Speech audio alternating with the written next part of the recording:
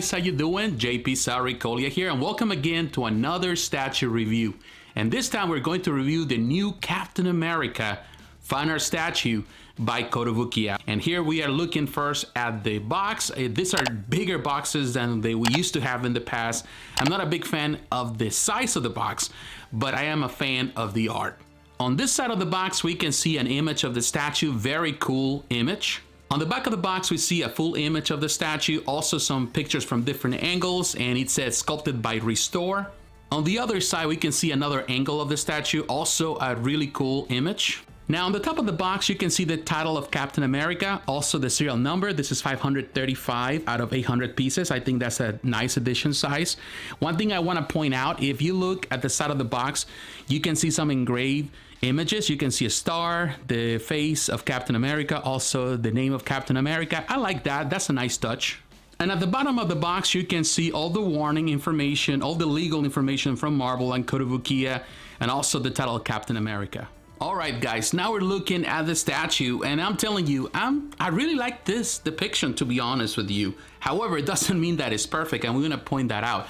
But the overall design, I think the concept is there. I really like what Kotobukiya, what Restore was trying to do with this. The sculpt in this piece is really fantastic. When you really get closer and you can see the image of Captain America right there, that face is really well done. Now, one thing that was pointed out by a lot of collectors that they got this is that the shield is warped.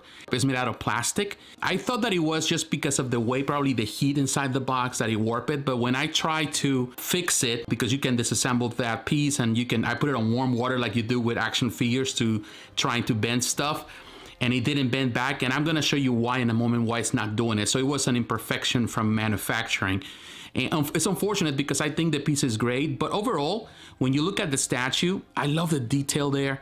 I think the paint job is on point. I would say that the, the one that was done by Eric Sosa it's fantastic. I, it's a phenomenal piece. I loved it for a long time. I like this one. I think the sculpt in this one is better However, I did like the simple pose of that one. Now, one thing that this one suffers is this intricate bases that, to be honest with you, is, is not the biggest point or the strongest point of this piece. I think it hurts the piece because there's so much stuff going on. And this whole thing with the holding the shield this way, to be honest, it's not necessary. They could have just simply attached this to the arm, make it in a different way. I will find a solution to try to get rid of all of this. Overall, I will tell you the paint job, this is superb. And I think that's something that Kotobukiya is doing and improving. And some people may be concerned about some leaning at some point, and yeah, it is there. But to be honest, the piece is not as heavy. The material feels solid, but at the same time doesn't feel too heavy. So I think probably there's the type of resin they're using in comparison to before but it's really, really well done. I like it. I think it's very secure. I already have it on display for a couple of weeks and I haven't seen any type of problems. Of course, you know, time will tell. It's too soon to tell, but um, I really like the detail that we have here. Now, I'm removing the shield so we can have a better look at his face and his expression on the body here. You can see the detail. They did a really nice job. The paint job is good. The teeth are well done. Uh, there's even some texture in his It's a texture all around, all this, of course. This is really good. The whole thing, the paint job and the different shading and how bright it is at some spots. The star even has some of that uh, lines in there. Really well done. The paint job is really good here. Now looking at the shield, as you can see, like I mentioned, it is warp. Look at that, how bad. And I put it on warm water. And the problem here is because these pieces, when they glue them together, they glue them too close. The plastic expanded and ultimately warped the whole thing. This is not gonna be fixed just like that. Now, I've been thinking about replacing this. I can also get one of those Hot Toys shields that you can find online on eBay or stuff like that. Some of those replacements for Hot Toys. And I can use that one just to add it here if I wanted to or I can do one here right back. I could do this with this one, but to be honest, I don't like the warp. That would be a solution. Doesn't mean that is the perfect solution, but that's just a, a defect that came from the factory. What they could have done is just add it here some way. I've seen some people that even put it here in the back, which is not a bad idea. And also, you know, I've seen someone, and I saw that in a video that put it right here just for display. Now, I'm gonna point out a problem that happens with mine. This one came broken, it came damaged and this little piece right here came off. Thankfully, the cut is clean and I can glue it. And uh, I even tried to get a replacement through Sideshow because I purchased this through Sideshow, but because they were completely out of replacements, they couldn't send me one. They gave me a credit, which I took the credit because I know this is an easy fix for me. There's a lot of different parts, to be honest with you, that they're really unnecessary in my opinion. A lot of things, for, for example, I removed this piece here just to show you.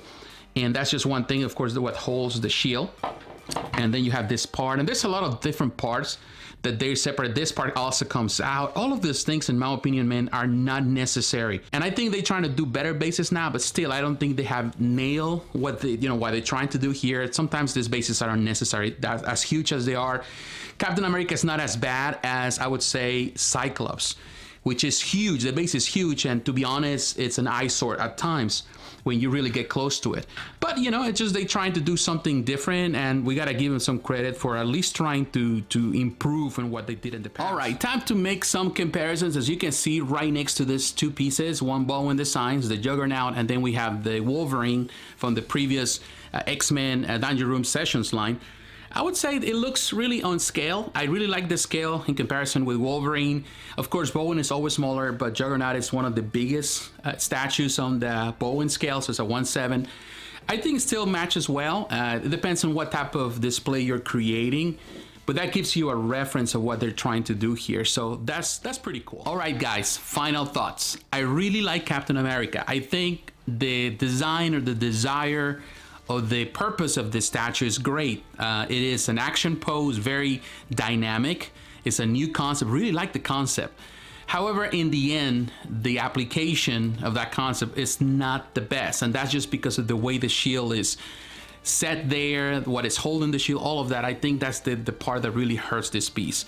Beyond that, the sculpt is fantastic on, on Captain America. I think the paint job is amazing. And the base, even though it has so many different parts, I think the paint job is better than what they used to do. Now, one thing I forgot to mention is that this comes with a manual. That's something that um, has been doing. It gives you an idea. I like that they're doing this because it helps you, particularly when there's so many parts and you don't know what is what and you want to figure it out. I think this helps a lot. So I would say recommend it. It's hard to find out. I think it was sold out at Sideshow. I think other places may have it. You have to look around. I'm looking forward to Thor and Iron Man and also Magneto and everything else that is coming next year. Really looks great. Uh, I recommend it if you're really into it. Now, I would recommend it if you don't have a Captain America and you are into the 1-6 scale.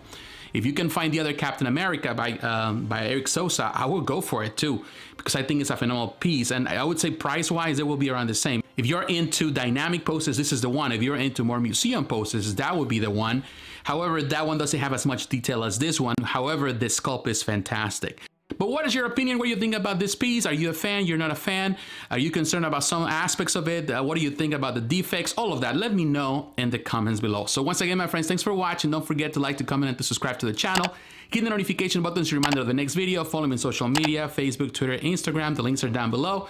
And please consider supporting the channel financially through Patreon. My friends, God bless you. Take care. And I will talk to you again.